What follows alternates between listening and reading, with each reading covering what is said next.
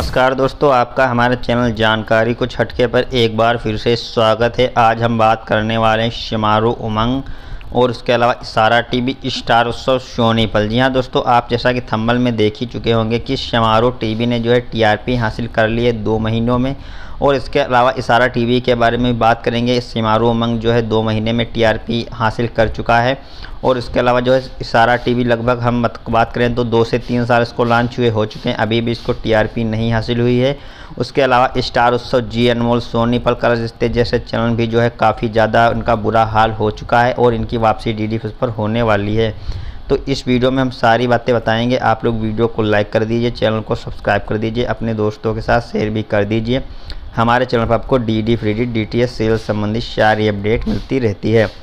तो सबसे पहले अगर हम बात करें इशारा टीवी चैनल जी हाँ दोस्तों इशारा टीवी चैनल्स की गलती थी सिमारो उमंग जो कि टीआरपी में आ चुका है। लगभग बात करें इसे, शायद दो महीना ही हुआ होगा कंप्लीट भी नहीं हुआ होगा।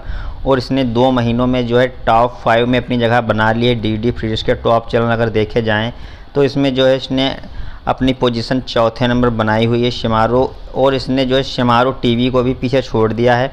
जी हाँ दोस्तों शमारो टीवी इनका जो खुद का चैनल मेन चैनल है जो कि पुराना है, इनसे वो भी अभी तक टीआरपी में नज़र नहीं आया, लेकिन शिमारो उमंग ने जगह इसलिए बनाई क्योंकि ये नया चैनल लॉन्च हुआ है। और जो है इस पर आपको स्टार नेटवर्क के ही सभी सेल देखने को मिलते हैं, और डी डी फ्रिज पर इसे सबसे ज़्यादा देखा जा रहा है। और उसके अलावा हम बात करें डिस्कवरी जीत जैसे चैनल भी थे, जो कि एक गलती की थी, इशारा टीवी की तरह, और अतरंगी ने भी वही गलती की है। अब बाकी हम बात करें, डिस्कवरी जी, चैनल जो डी डी पर नहीं आया था, इसलिए बंद हो चुका है। अब आप देख सकते हैं टीआरपी जिसमें गोल्ड माइन नंबर वन पर शिमारो मंग नंबर तीन पर शामिल है, जो कि डी डी फ्रीज के चैनल्स की टीआरपी है। तो हम बात करेंगे सिमारो उमंग इतनी टीआरपी काफ़ी अच्छी, इसलिए हासिल कर पा रहा है, क्योंकि डी डी पर उपलब्ध है। इसके अलावा अगर हम बात करें, इशारा टीवी क्यों नहीं?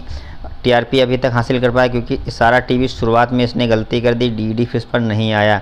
इशारा टीवी चैनल को डी डी पर ही लॉन्च होना था। इसके सीरियल काफ़ी अच्छे थे, लेकिन इसने गलती यही कि डी डी पर ना लॉन्च हो गए एक पेड चैनल के रूप में इसने सबसे बड़ी गलती की डी डी पर ना लॉन्च हुआ। इसीलिए इसको टीआरपी नहीं मिली और टीआरपी की तो बात छोड़ो, इसको एड ही नहीं मिले।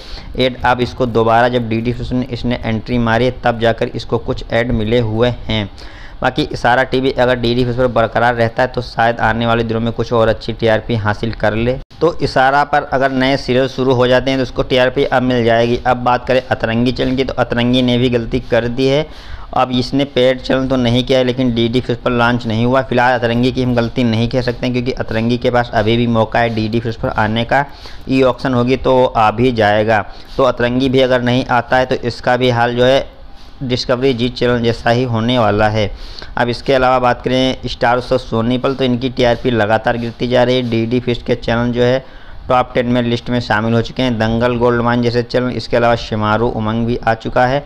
और स्टार उत्सव पेड चैनल डी और सोनी पर कहीं भी नज़र नहीं आ रहे हैं। तो उम्मीद है स्टार उत्सव सोनी पर जल्दी वापसी करेंगे। इसके अलावा ये भी उम्मीद है कि अतरंगी चैनल भी गलती नहीं करेगा, ये भी डी डी पर आएगा। अब कुल मिलाकर बात ये आती है, होता है तो उसको डी डी फ़ीस पर आना है, नहीं आता है तो वो चैनल सर्वाइव नहीं कर पाएगा। उदाहरण के तौर पर आप डिस्कवरी जीत इशारा टीवी चैनल को देख सकते हैं। इसके अलावा अगर हम बात करें, अतरंगी चैनल डी डी फ़ीस पर आएगा, नहीं आया तो इसका भी हाल वही होने वाला है। और स्टार उत्सव सोनी पर भी टिक नहीं पाएँगे डी डी फ्री डिश के बिना। जानकारी अच्छी लगी हो तो वीडियो को लाइक चैनल को सब्सक्राइब ज़रूर करें। मिलते हैं किसी और वीडियो के साथ। तब तक के लिए धन्यवाद।